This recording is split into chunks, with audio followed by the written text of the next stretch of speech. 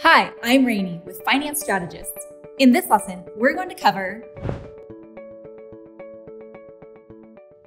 Green taxes are taxes imposed on activities that pollute or cause harm to the environment. Green taxes are also known as environmental taxes or eco taxes.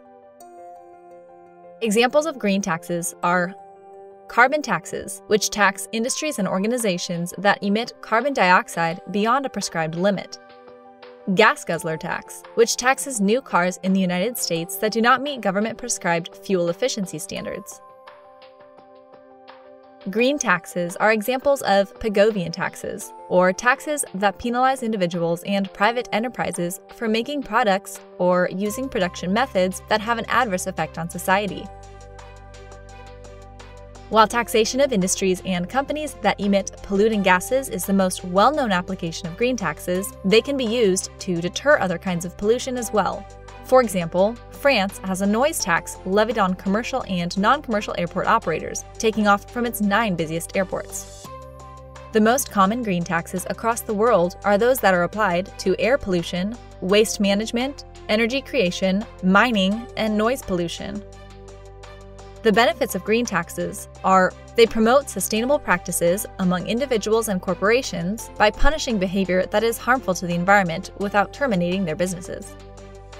They have become an important and growing source of revenue for governments, especially in developing countries worldwide. For example, a 2019 OECD report stated that green taxes accounted for 8% and 8.6% of overall tax revenue in Denmark and the Netherlands in 2018. In India, they accounted for 18% of total tax revenue. Green taxes can mean more money for citizens and environmental initiatives. For example, Canada passed the Greenhouse Gas Polluting Pricing Act, which gives up to 90% of funds raised through carbon taxes back to Canadian households. Taxes can also spur investment into alternate technologies. Carbon taxes have encouraged investment and development of alternate energy technologies.